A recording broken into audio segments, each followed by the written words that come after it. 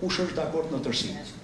Komisioni i Ligjeve ka miratuar nen për nen dhe në tërësi ndryshimet e propozuara nga Këshilli i Ministrave për të drejtat dhe trajtimin e të dënuarve me burgim dhe të paraburgosurve. Në komisionin e zbrazur nga opozita parlamentare, ministrja e Drejtësisë, Etilda Gjonaj, prezentoi ndryshimet që parashikojnë trajtimin e diferencuar të atyre, që vuajnë dënim në burgjet e sigurisë së lartë për pjesëmarrje në grup të strukturuar kriminal, organizatë kriminale, bandë të armatosur, organizatë terroriste apo për vepra me qëllime terroriste. Nëse një person do të arrestohet apo do të gjykohet për këto vepra penale, ai duhet të vendoset në një regjim të posaçëm me kufizim të të drejtave me qëllim për të parandaluar kontaktet me organizatën kriminale apo grupin kriminal ku bëjnë pjesë ashtu si dhe me organizata të tjera aleate,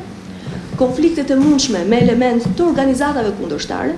si dhe ndërveprimi me të burgosurit apo të paraburgosurit e tjerë që i përkasin të njëjtës organizatë apo organizatave të tjera me të cilat ata bashkëpunojnë.